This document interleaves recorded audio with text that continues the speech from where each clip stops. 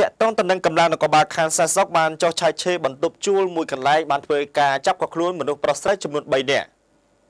ជនសង្ស័យប្រុសស្រីចំនួន3នាក់ត្រូវបានកម្លាំងនគរបាលខណ្ឌសាសុកបានចុះឆាយឆេរបន្ទប់ជួលនិងចាប់ក៏ខ្លួនបន្តបន្ទាប់ដោយសង្ស័យជាប់ពាក់ព័ន្ធទៅនឹងករណីប្រើប្រាស់និងជួញដូរថ្នាំញៀនកាលពីថ្ងៃទី12ខែកក្កដាឆ្នាំ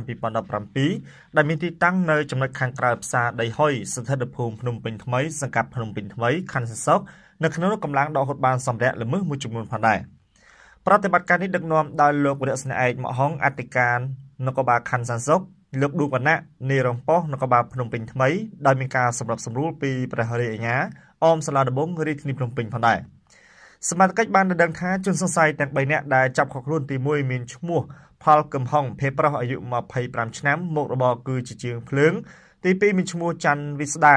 ភេប្រុសអាយុ38ឆ្នាំមុខរបរមិនពិតមានស្រុកកំណើតនៅខេត្តពោធិ៍សាត់និងទី3មានឈ្មោះដឹមវលៈភេស្រីអាយុ27ឆ្នាំ មុខរបរធ្វើការនៅក្នុងខារ៉ាអូខេទាំង3នាក់គឺស្នាក់នៅកន្លែងកាត់ហាកាលើនេះវរស្នេហ៍ឯកមកហុងអធិការនគរបាលខណ្ឌសសកបានដែលដឹងថាមុនឈានទៅដល់ការចាប់ខខ្លួនជនសង្ស័យប្រុសស្រីខាងលើគឺដោយសារតែកម្លាំងរបស់លោកបានធ្វើការស្រាវជ្រាវតាមជំនាញទើបឈានទៅដល់ការបង្ក្រាបនិងចាប់ខខ្លួនពួកគេតែម្ដងសម្រាប់ដកហូតរួមមានម្សៅធំជញ្ជីងសម្រាប់ថ្លឹងថ្នាំញៀនចំនួន1ម៉ូតូពីរគ្រឿងឧបករណ៍សម្រាប់ប្រើប្រាស់មួយចំនួនទៀត